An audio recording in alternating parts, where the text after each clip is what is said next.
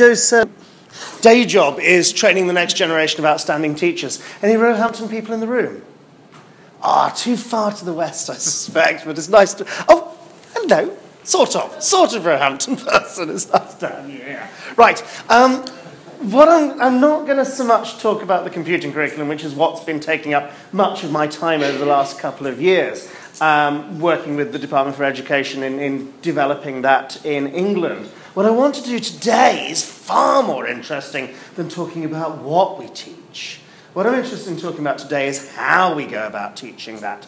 There's a quite a lengthy lead up to the last sort of 10 minutes or so where we'll talk about pedagogy, because I want to start first by talking about information in more general terms, and then talk a little about education more generally before we get into the sort of pedagogy bit here, and then eventually we get to the digital pedagogy bit at the end. And I'm having trouble with the funny clicky thing, but um, we'll try once more.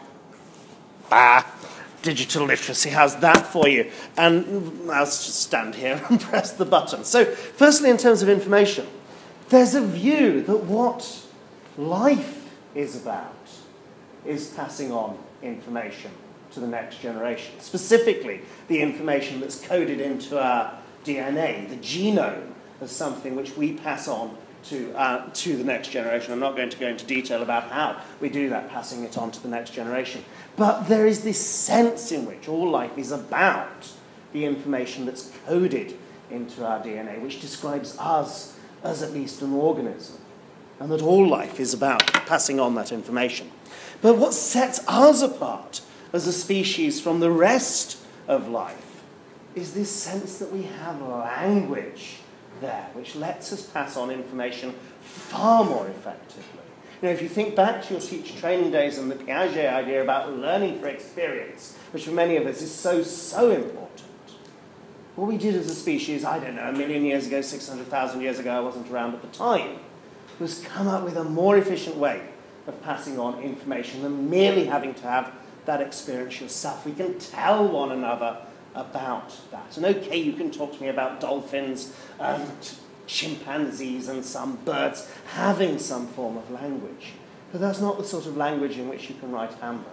It really isn't. And that what we do then is code that experience into language. Much, much more recently, again, wasn't around at the time, say 6,000 years ago, we come up as a civilization, as a species, with a way of encoding that language in a form which allows it to be communicated without having to be physically present in the same room.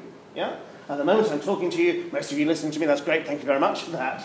But what we could do is capture this in writing, we could do a transcription of this, and then you could pass the ideas on here if you wanted to, to anybody else, because we've invented writing as a way of encoding that language in a form which will, which will exist in multiple places and in multiple times. Those tablets which the Babylonians, Assyrians wrote 6,000 odd years ago, we can still visit the British Museum or the Louvre and see those now and decode what they were talking about. Okay, much of it actually is, is, is, is um, invoices and accounts. And then, again, more recently still, what's this about 50, AD 1500? This sense that we can distribute that far, far more efficiently than ever we were able to do with the stone tablets or the papyruses or the parchment or the manuscripts by coming up with a machine which will make copies. In that day and age, printing press rather than photocopier. But you have then a mechanism of taking one piece of writing and making multiple copies of that so that the information is no longer locked to one physical artifact, but can be spread far, far, far more effectively, more efficiently. At the time, of course, the control of this process in the hands of the elite, the printing houses, the publishers, those who gave authority for the book to be printed, for the book to be bound, for the book to be distributed. We move on, and you get to 25 years ago, and Tim Berners-Lee having this idea of a way of making that distribution far more democratic, using the power of the internet, making it possible to transfer a document from one computer so efficiently, so seamlessly to any other computer connected to the internet. We call this the World Wide Web. I was around by that point, but not using one of those back in you know, 1989 as it would be. And this democratizes the whole thing, doesn't it? That any of you, more to the point, any of your pupils, can publish their ideas, the information that they have, gained from their experiences, gain from their reading, to the world. That a child in a primary or secondary school today can write something with an audience of potentially two and a half billion other people. When I was at primary school, indeed secondary school, the only person who ever read my work was my teacher and maybe my mum. Okay, it was put on display, but nobody ever read that. And now we're at the point where a primary school child can have that global audience. But there are implications for scale there. The illustration at the top is what you would get if you printed out the whole of the English Wikipedia. What an amazing achievement for us as a civilization to produce that, to crowdsource that encyclopedia, summarizing what we, as a group of people are connected to the interweb, think. No. Printing that out, 10 big library stacks of Encyclopedia Britannica size volumes. What an amazing achievement. Done for free, given away freely. You can download it. You can go onto the Wikipedia website and say, Could you give me the whole thing, please? And you, get a, you can get it a zip, in a zip format or you can get it uncompressed. The uncompressed Wikipedia takes up, what is that, 10 big library stacks or 44 gigabytes of data. 44 gigabytes of data fits on a micro SD card which is about the size of your fingernail. Assuming you've got normal fingernails, don't know. Okay? Isn't that just astonishing now? Something like that. So a 64 gig card, what's that, 40 quid or so these days? You've got room for the whole of the English Wikipedia on there and the whole of the German Wikipedia in uncompressed format if that's what you want. So this, you've heard, I'm sure, about Moore's Law, the notion that the technology that we have, the speed of the process, and the number of transistors on the chip doubles every 18 months or so. The same applies to storage capacity, and if your hard disks are anything like my hard disks, they're pretty much full most of the time. And so if we do that together, what you have is this result that the amount of information we stored in the last year and a half, since November 2012, is the same as the amount of information we as a species had stored since the beginning of time.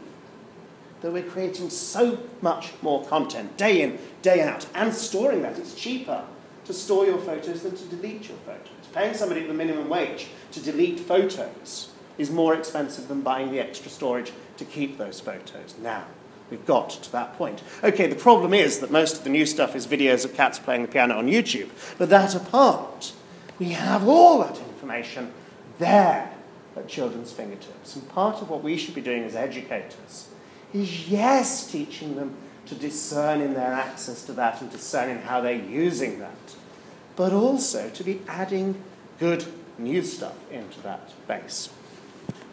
I want to do a similar sort of survey when it comes to education. And this wasn't painted at the time, this isn't photograph, this is Raphael's depiction of the School of Athens, or one of the first academies, I suppose. And what you have there is this sense of a group of people meeting to talk about ideas. Think back to my thing about language, think also to my thing about writing. And isn't this at the heart of education, of bringing people together to share their ideas, to share information with one another? And it's interesting that we do already, you know, by the point Raphael's painting this, never mind what actually happened at the School of Athens, have educational technology involved. I'm sorry the picture's so small. Actually, it's quite big, but it's just a long way away, isn't it? We have Plato and Aristotle here with books, this sense of preserving the information for the future. My favourite bit of the picture is down here, bottom left-hand corner. This allegedly is Pythagoras, and Pythagoras has got a book here, again, preserving information, but it's his pupil who's got what looks to me an awful lot like an iPad, and he's saying to Pythagoras, Have you seen the latest education technology here? And this gentleman here, I think that's possibly the Estyn or Ofsted inspector just taking notes on how that conversation is going. How's that going to be graded? We'll see. And then we move perhaps from this great, you know, Athens, democracy, all of those ideas, approach to education to one which is much more about cultural transmission. A group of people sat in a room listening to somebody talking about a set of ideas. Does that sound at all familiar to you here? Now, it's really interesting comparing and contrasting what's going on. Yes, we have a few people in the front row, thank you all very much, listening very attentively, but there's an interesting conversation happening at the back of the room over there. And this gentleman, I think, had a much better night the night before than he's having that morning, don't you? Um, those of you who are working with, with, with perhaps older students might recognize some of those types from your classroom. But there, because of the writing thing, because of the publishing thing, there are other places you can go to learn than coming into a room and hearing somebody talk. Think of the difference between learning in a classroom or lecture room or conference room and learning in a library. Think about how much control you have over the direction of your study when working in a place like that, when learning in a place like that, rather than in a place like this. And, you know, the web does so many of these things. Yes, it's a way we can all be present with one another and learn from one another, but it's also there as the repository of all of that information. Um, at Roehampton, we're a collegiate university, like a couple of others, and I work at Froebel College, named after the great German 19th century educationist Friedrich Froebel, who, amongst other things, invented the kindergarten, which is a pretty cool thing to have been working on. That's a nice project, yeah? Let's, let's go and make kindergartens. And here is his, uh, or here's a painting of a 19th century German kindergarten. Have a look at what's happening in the painting. This has an awful lot more in common with the School of Athens than the medieval lecture room, don't you think? Of the conversations, the learning through experience. The two, um, we would call these, I guess, practitioners these days, don't seem particularly involved in directing learning. I worry a little about how Estyn Ofsted would regard the learning that's taking place in an environment like that. But it is a place where we connect learners with one another, a place where there is so much potential to learn through experience. This is different. And okay, 19th century English classroom, or possibly American classroom, can't tell just by looking, you have very much that medieval approach of the expert passing on ideas to a group of people. And that there are that there's that tension between these two different approaches to education. Is it about making putting people in contact with one another and sharing ideas? Or is it about coming into the room and listening to the expert here? Of course, these days, you don't go to, or your default place for going to learn something new is not the classroom. Unfortunately, it's not even, well, I think unfortunately, but I'm sort of old fashioned in that respect. I think it's not even the library anymore. Where do you go to learn something new? Looks an awful lot like the place behind me on the screen, I suspect. I want to find out about Google will put us in touch with that. Is Stuart in the room? Okay. Is there anybody in the room who doesn't use Google as their default search engine? You've really got to worry about that, haven't you? Okay, i am a great believer in Google. I think they do very, very good things. But if they were to use their powers for evil rather than good, we'd have to all be ever so slightly worried about that. Other search engines are available. If Stuart were around, he'd be able to mention one to you. Anybody who thinks it stands for because it's not Google, you may be onto something there. Okay, and how do we access this? You no longer need the physical connection. You, know, you have the device like this. It's not as transformative as the web. Of course it isn't. It's not as powerful as Google in terms of connecting you to ideas, but the fact it's always with you and it's your device is tremendously empowering. Any of you done the surveys? How many of your pupil students have a smartphone of their own that they can use pretty much when you want? Anybody done the survey? This is not merely a rhetorical question. Okay. How many?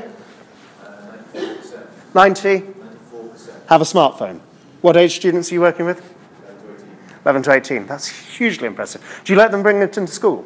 Sorry? Do you let them bring them into school? We're currently going through those negotiations. Watch that space. A gentleman to go and have a chat with at coffee time, I think. Somebody else, another hand went up towards the back of the room. That's astonishing, isn't it? I was hearing the story the other week of a class of reception children, five year olds, many of whom had their own BlackBerry. Absolutely astonishing, don't you think? People still using BlackBerry. Amazing. so, what does this mean in terms of teaching? Well, just as we still do pass on our DNA to the next generation, just as we still use language, just as we still use writing, not so much on the stone tablets, I'll admit, just as we still have libraries, just, just as we still have printing, the new approaches do not negate the old approaches. We can learn from, we can enhance, we can make use of those old approaches. But I think we add new approaches in at the end of the list there of what the new technology. And this is technologically deterministic. The way your school runs has changed because printing is available, has changed because the internet is available, has changed because computers are available. You didn't ask for those things, they're there, and you've made use of them as educators. So just as we can still use the old approaches. There are new approaches which the new technology makes possible. I want to just deal with the P word here, the pedagogy thing, in case people get the wrong idea. It is somebody standing at the front and giving ideas to a group of people. If you look at the etymology of it, it comes from the ancient Greek for the pedagogos, the household slave, we know the feeling, who takes the children to the place where learning happens.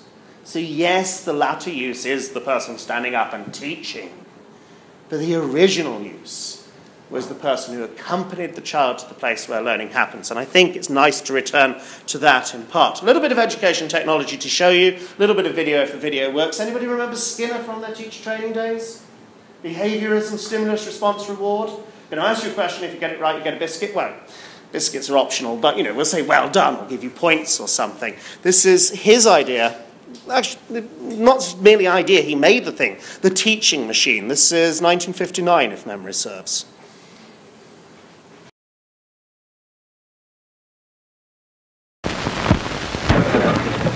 These young people are studying in a new way. Class in spelling, it might as well be arithmetic or algebra or grammar or in fact anything involving the use of words or symbols.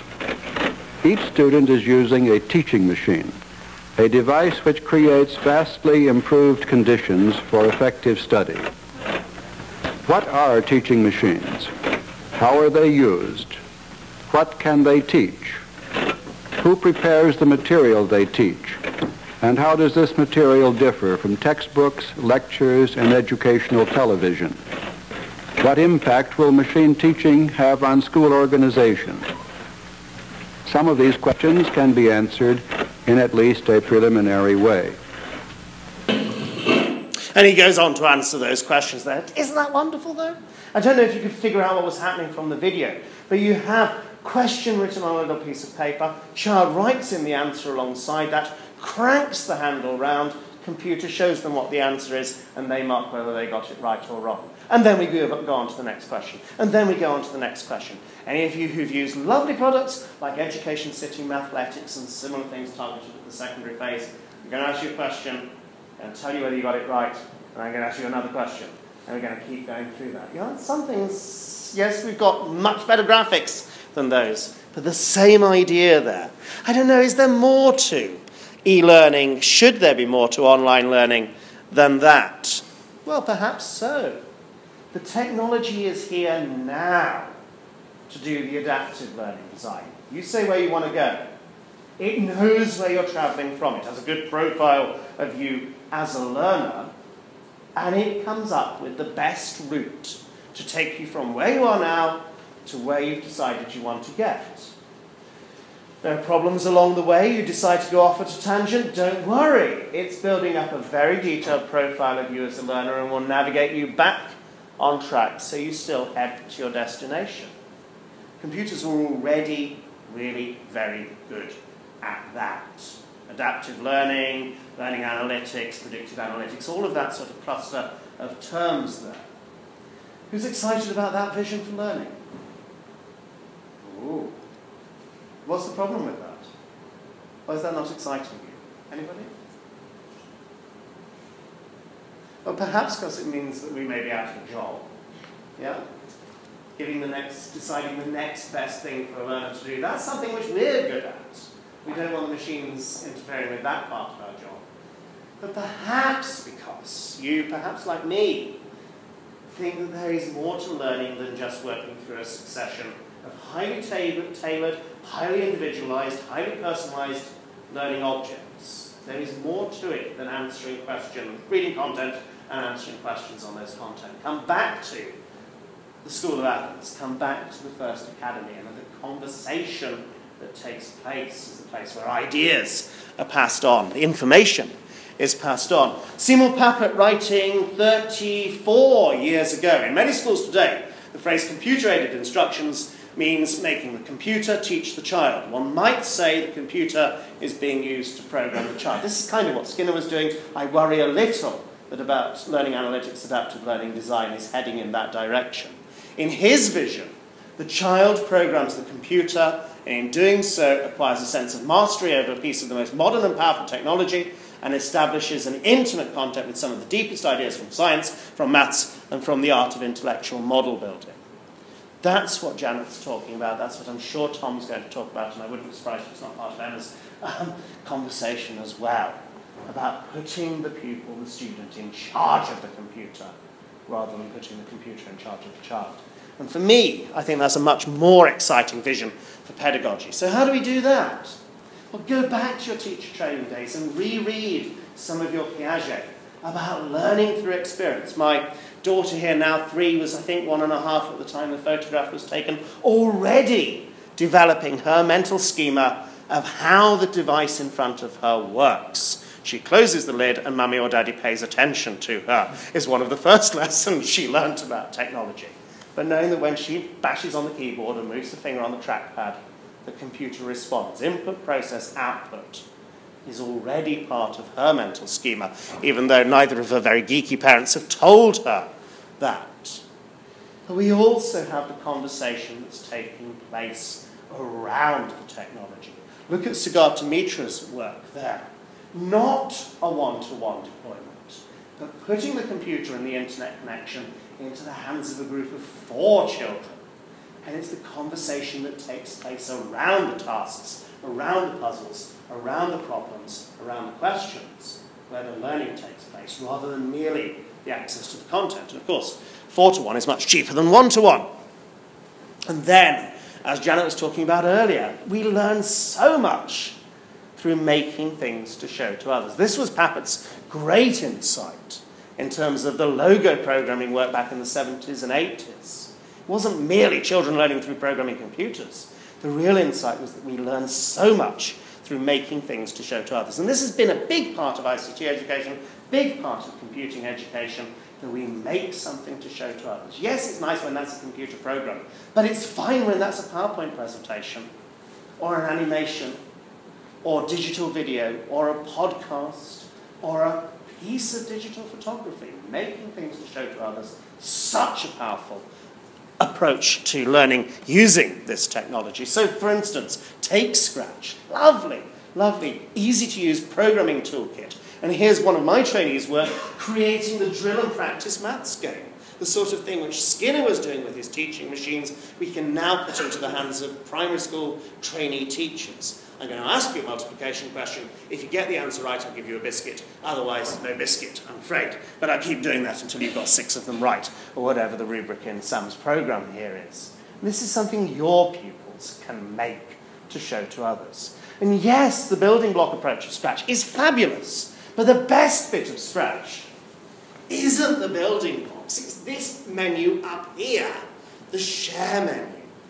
Because part of Scratch right there in its foundation philosophy is that the work that they make, they can share with a global audience. Okay, not all two and a half billion people on the web have a connection to the Scratch website or use the Scratch website.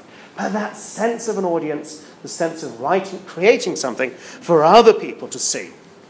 I want to talk now a little about networks and this idea that we have information these little chunks of things about things or information about something. But it's actually when we connect the information together that we get from information to knowledge.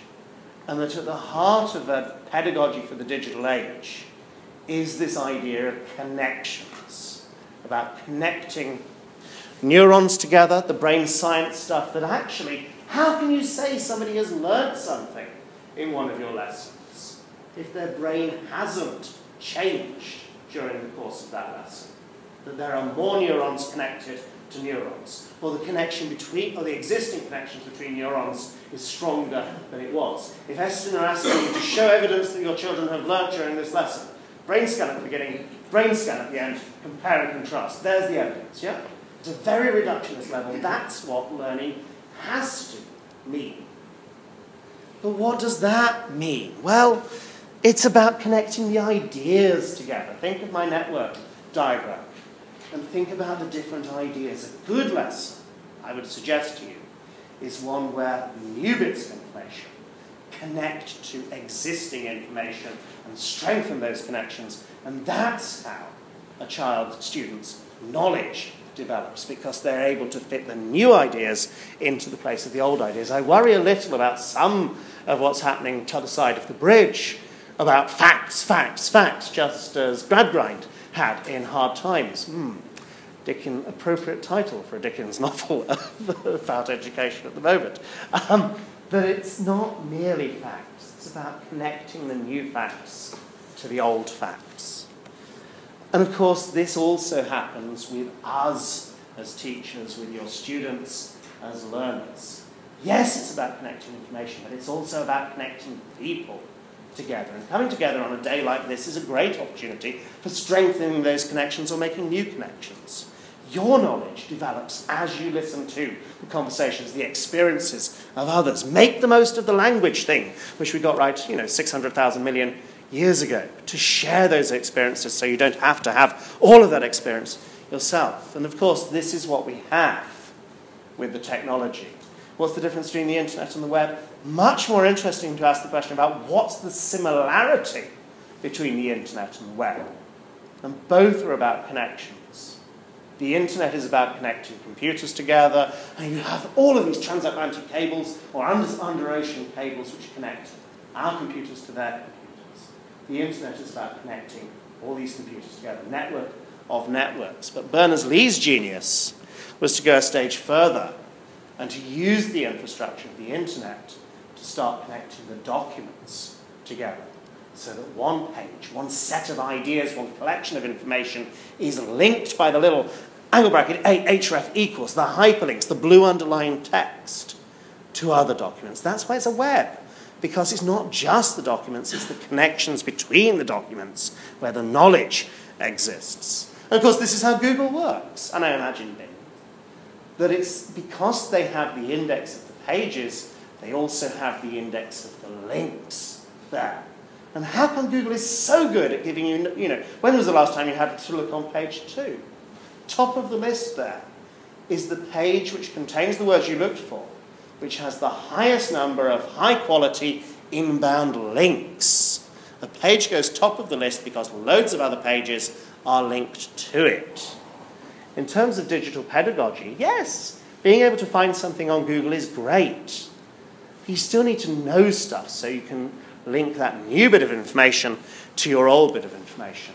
And of course, we've used the web for things which I'm sure Berners-Lee never imagined we would back in 89 at CERN. So this is a representation of the social graph of somebody's Twitter network, of the connections which we make use of, of the people we connect to using the web. If you're not on Twitter, get on Twitter. It's a great place for sharing those ideas, for using language to pass on that information to one another. And make the most of the technology you have in Hwb and other online tools for connecting your learners together. Of course, you can do that in your classroom, but you can do that beyond your classroom too. Janet spoke about going agile with your approach, with the Welsh approach to curriculum design. And I think that's fabulous. I really do. But I think we can go agile with our approach to teaching too. So agile software development was, oh, sort of late 90s, really that kind of time where it catches on with a view that the previous way of sort of specifying functional requirements and then designing a system and then implementing that and checking it works and then having a sort of maintenance pack was fine as far as it went. but actually wasn't nearly as efficient, as effective as it could be as an approach to software development. So, yes, the things on the left matter. Of course, you should have a plan. Of course, you should negotiate contracts. Of course, you should document things. Of course, you should have the right processes and the right tools.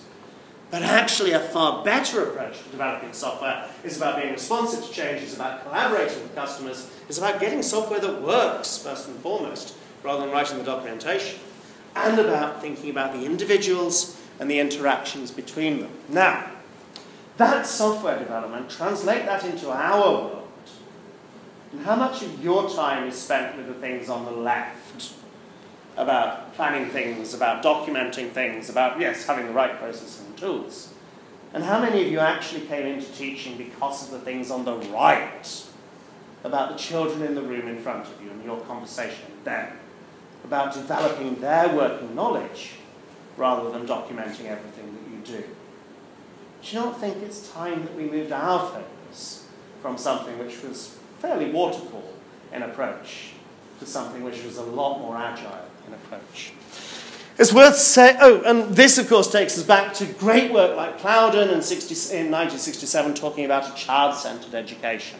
Now, once in a while, saying to the children in the room in front of you about being agile and saying, not, this is what you've got to learn, but what would you like to learn? And tailoring, tailoring your lessons around their interests and enthusiasms. So, yes, SatNav is great for getting to the destination. There's an awful lot of countryside to explore on the way. More of that in a moment. Out of Agile grows this movement to software craftsmanship, which says, yes, responsive to change matters, but actually what we should be doing is steadily adding value. And yes, collaborating with our customers, children, pupils, matters, but what matters more is having productive partnerships, that being something is useful for them. Yes, well, working software matters, but what you really want is well crafted software. Writing the lesson, creating the lesson, which is as good as it gets, the one which you could laminate if you ever thought it was right to laminate a lesson plan. English school minister, don't get me started. No, please don't get me started. And yes, focus on the individuals and interactions in the room in front of you, but don't forget your responsibilities to the professional community that you're part of. CPD, great thing, continuing professional development. Think of it too, though, as the continuing development of the profession and what you can contribute to that. Twitter is a great place for this. So, yes, in education, we tend to think of learning as a journey. This is the journey from Roehampton over to Cardiff. Okay, Google says two hours, 45 minutes. They don't get everything right. Okay, that we have learning, we think of temporal metaphors, we have learning as a journey, we think of the lesson, we document that on a blog, we look at film as a metaphor perhaps, we think of attainment in terms of levels, we have IT suites which look an awful lot, don't they, like call centres. Is that really the limit of your ambition? For your pupils' IT, to have an IT room which trains them to work in a call centre? I hope not. I really would. Um, and in programming, we think very easily in terms of procedural language. Another set of metaphors exist. Think of learning more using spatial metaphors. Think of it as a landscape to explore rather than a journey to complete. Think of the library as the locus of learning rather than merely the classroom. How come we don't use wikis more? How come blogs have taken off so much and the wiki not so much? Open question that. And yes, think about digital video and film, but also think about the non-linear artifacts such as games. And we're using badges to recognize achievement rather than merely working through a sequence of levels. And have an IT suite if you've got control over it, which looks a lot more like a design studio and a little less like a call center. Have that as your ambition for your pupils, making things rather than consuming things. And yeah, in programming terms, objects as well as procedures. Um, I'm sorry I've overran. I always do. Former head teacher. Nobody could tell me to stop during assemblies, and I sort of carried that into later work. Look, there's an email address jobby on screen. I blog occasionally, not very much, and I'm on the Twitter quite a lot more than that. If you want to see the slides again, then uh, bit.ly slash diglit14cdf is the place where you'll find all of this on screen. Thank you so much.